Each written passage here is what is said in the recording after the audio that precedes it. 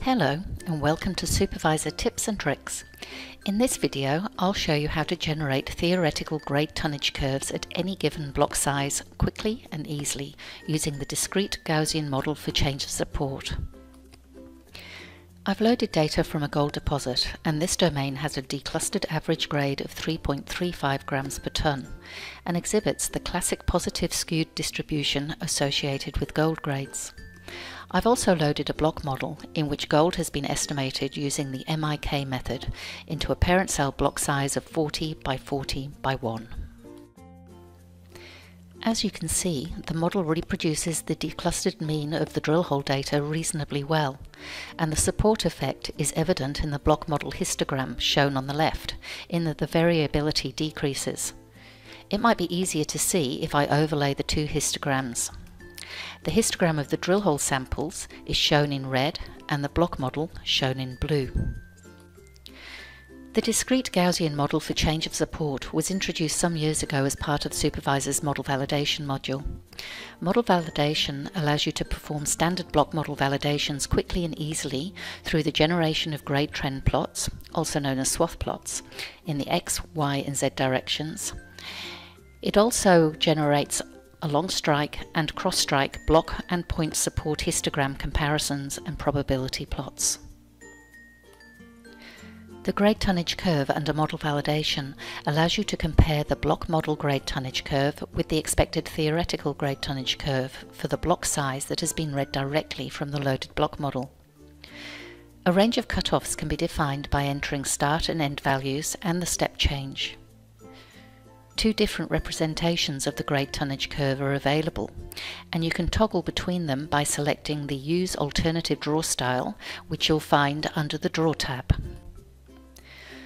You can toggle on or off the display of global and theoretical tons and grades, with or without declustering weights. This allows you to easily assess the impact of spatial clusters of drill hole data in the global recovery figures. The point support grade tonnage curve is automatically calculated using the drill hole samples for comparison.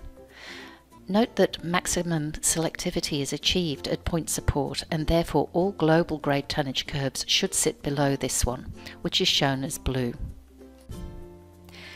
It is also possible to generate theoretical grade tonnage curves directly from drill hole data without having to load a block model. This is incredibly useful when you want to assess the impact of differing block sizes and or variogram parameters. This functionality is called predicted grade tonnage curves, and you will need a variogram model in order to use it. To insert the grade tonnage curve, right-click on the continuity model and select Predicted GT Curve from the drop-down menu. You then need to specify a range of cutoffs in the GT Curve tab. The Global Change of Support tab provides the ability to define the block size, block discretization, and the number of Hermite polynomials to use. Remember, you can toggle between the two GT curve representations at any point.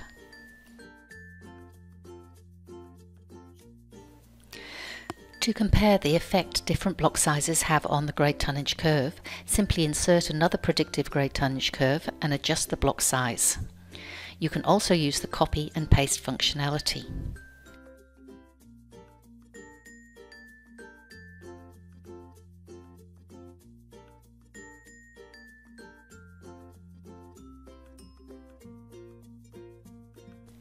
To export the results for both point and block support, select the Results tab and then right-click anywhere within the table and select the required option from the drop-down menu. As I mentioned previously, you can also easily assess the impact of the variogram on the global grade tonnage curves.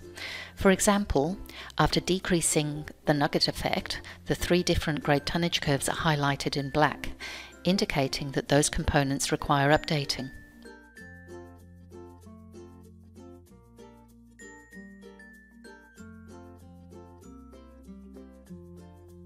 Similarly, after changing the range of a variogram in one direction, the grade tonnage curves need to be updated.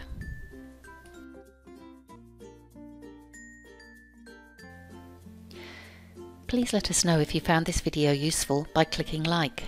For more information or to make suggestions for other tips and tricks videos, click on the link in the description below.